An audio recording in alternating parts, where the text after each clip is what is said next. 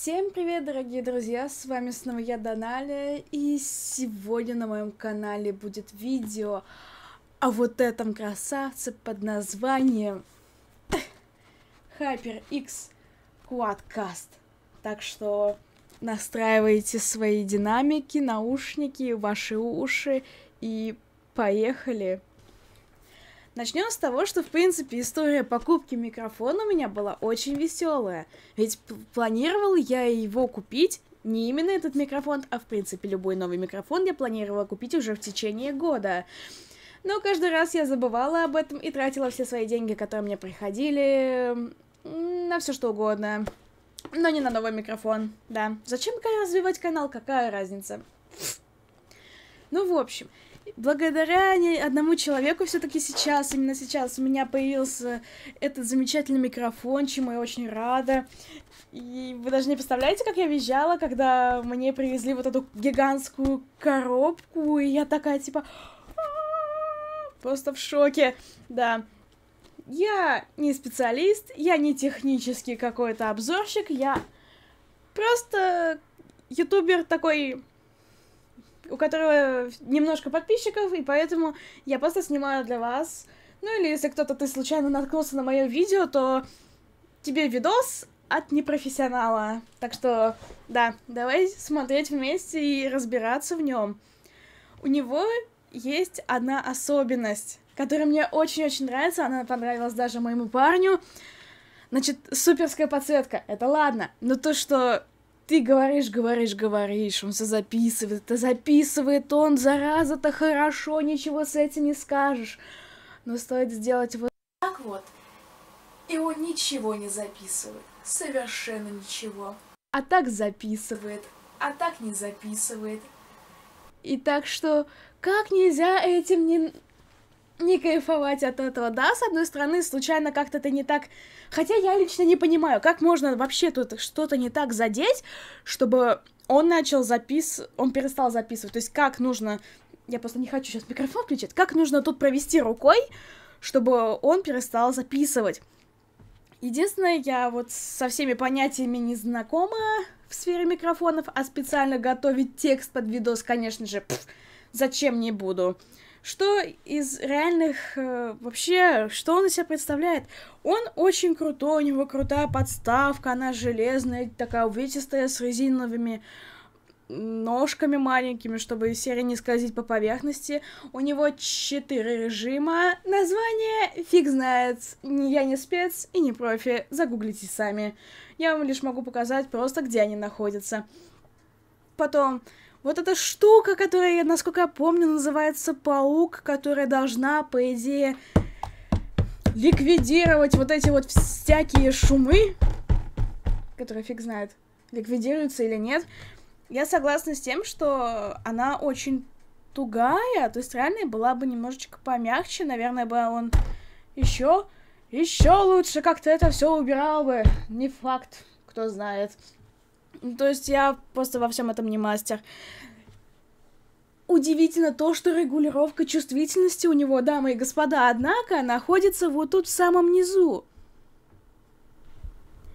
И можно записывать СМР-видео, что мы сегодня и попробуем чуть-чуть.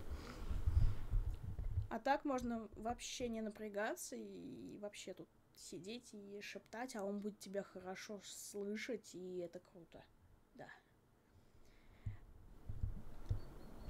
Но обычно, кстати, я заметила, что многих он стоит либо на двоечке, либо на троечке, потому что, ну, не знаю, им так удобно, да и мне, если честно, учитывая то, что у меня голос довольно-таки песклявый, и он то басит, то ли пищит, он вроде как-то делает мой голос не таким противным, что ли, а?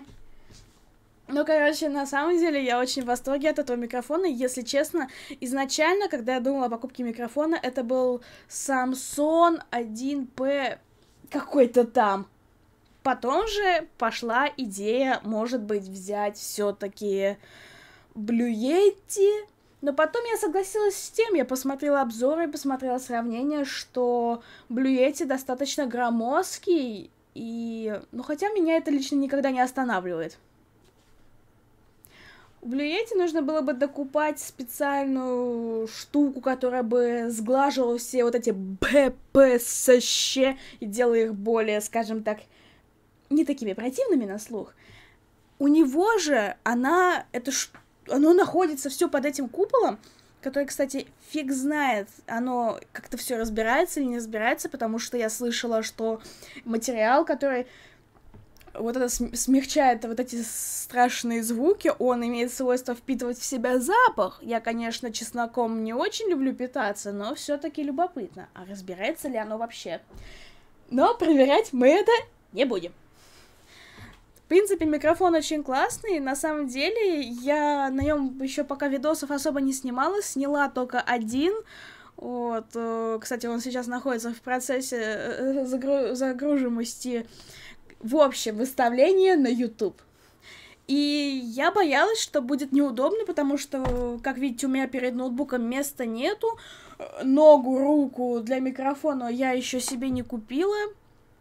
Поэтому он у меня стоит сбоку. А учитывая то, что играю, я сижу, пялюсь вот в этого шикарного спайра, ну, точнее, на игру, которая на мониторе, микрофон стоит сбоку, и я боялась, что когда я буду говорить в монитор, а микрофон стоит сбоку, все будет очень плохо. Нет. Я поставила адекватный режим, когда он записывает только то, что перед тобой. И несмотря на то, что я говорю туда, а он стоит здесь, он меня хорошо записывает. Записывает. То есть прям вот вообще молодец, умница, и чтоб ты у меня вечно жил. Пожалуйста, я не хочу тебя терять. Кстати, заказала, если что, я его на... О, кстати, хороший момент. Сейчас за окном едет трактор. Насколько это слышно, потому что... А слышно ли меня вообще? Наверное, слышно. Все. Все, трактор уехал далеко. Прекрасно. Ну, вообще, как его можно не любить? Как его можно не желать? Просто посмотрите, это первый микрофон HyperX, и он шикарен. Он шикарен внешне, он шикарен в, по, в комплектации. То есть уже вот этот паучок, не помню, как называется, и вот эта вот ножка, на которой он держится, кстати, можно еще делать... Простите меня заранее,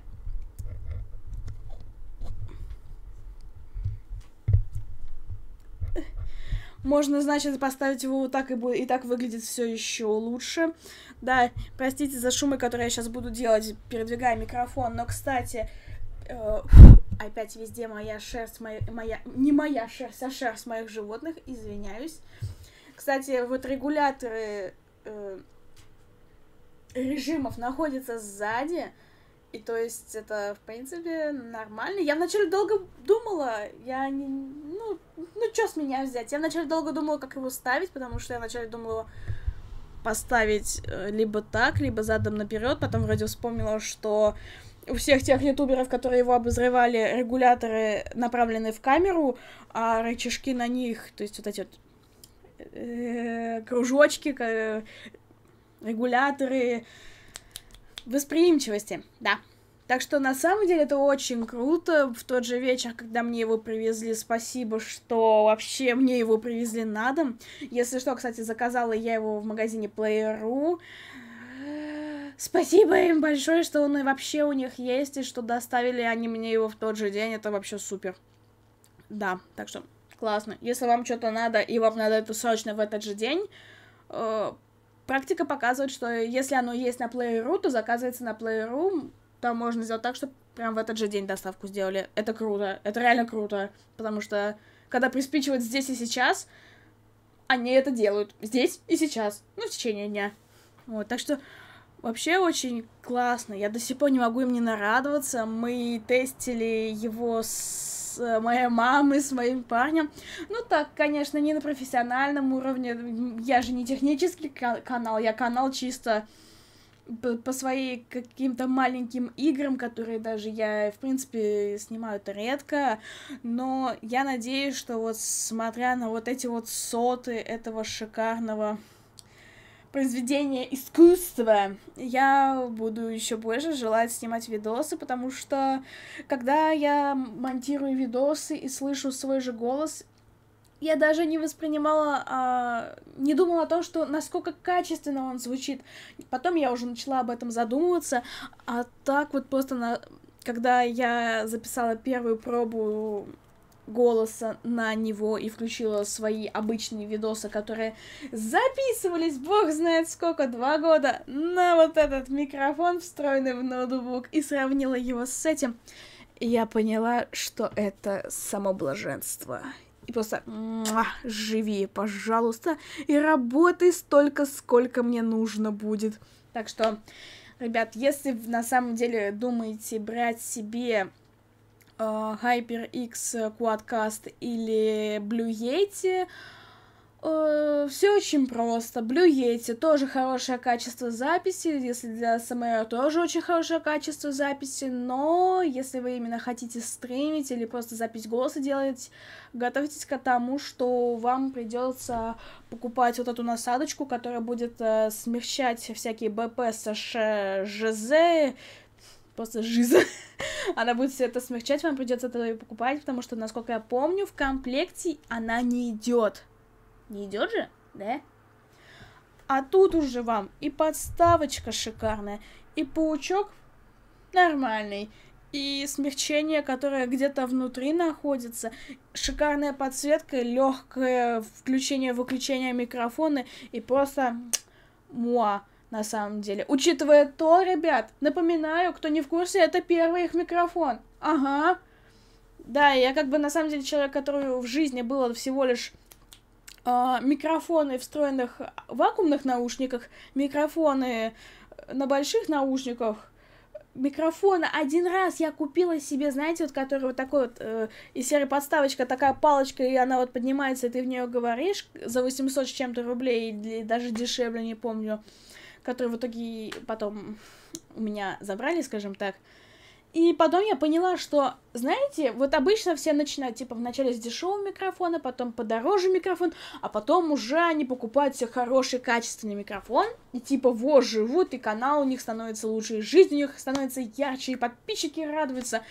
Я так не могу. Я, если знаю, что есть качественная штука, которая стоит на самом деле нормально, э, по соотношению цены и качества, то я не буду брать никакую-то там э, тот же самый Blue Snowball за сколько? 6 тысяч? Не помню, неважно. Я лучше поднакоплю или попрошу даже помощи у родных, потому что, ну, я занимаюсь каналом, мне, я, это мое увлечение, это мое хобби. Просто дошло. Хобби жизни, YouTube канал. Знаете, я только что это поняла. Хм. Да, держи и куплю нормальную технику с первого раза, чем я вначале куплю себе какую-то дешевле, потом спустя два года я куплю что-то получше, и, и еще спустя несколько лет куплю себе что-то вообще зашибенное. Зачем? Если можно поднакопить, постараться, попросить или что-то как-то договориться, и, ну, в общем, просто нажать педаль, педаль газа и получить хорошую вещь уже, скажем так, здесь реально и сейчас. Так что на самом деле я очень рада, что у меня вообще в жизни появился этот микрофон, что теперь мои видосы я буду записывать только с ним. Я прям не могу. Вы бы видели, как я пищала, как я радовалась, как я кричала от восторга, как я просто благодарила того человека, который мне помог с его покупкой. Так что ребята, оно того стоит. Хороший микрофон, качественный микрофон. Все режимы я пробовала, но так, потому что для себя мне нужен только один, который на, направленный лишь на меня. А так, да, на самом деле, у него хорошо работают режимы. Э, все, что вокруг него записывать, записывать только спереди и сзади. И какой-то еще режим, простите, не помню, забыла. Да. Так что, а сейчас, дорогие мои друзья, мы перейдем к самой, к самой, ух, самой интересной части. А часть это называется АСМР. Для этих нужд я даже специально взяла те вещи, которые чаще всего тестят в этих случаях. Так что подождем. Через, буквально через секунду мы вернемся, я уже буду в наушниках. И даже не знаю, как это все будет происходить. Так что... Первая проба СМР записи. Будем использовать разные штуки. Специально для этого я взяла даже чипсы из магазина, но к ним перейдем позже.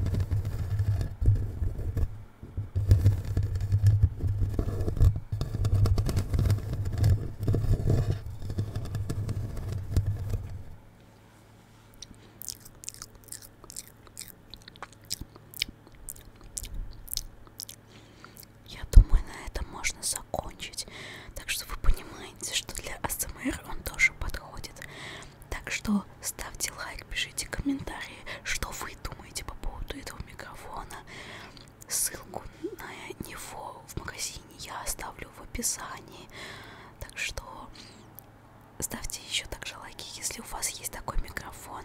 Если вам понравилось это видео, не забудьте нажать на колокольчик и подписаться на мой канал. Так что всем удачи, надеюсь, вы тоже найдете когда-нибудь свой идеальный микрофон. Так что до встречи в следующем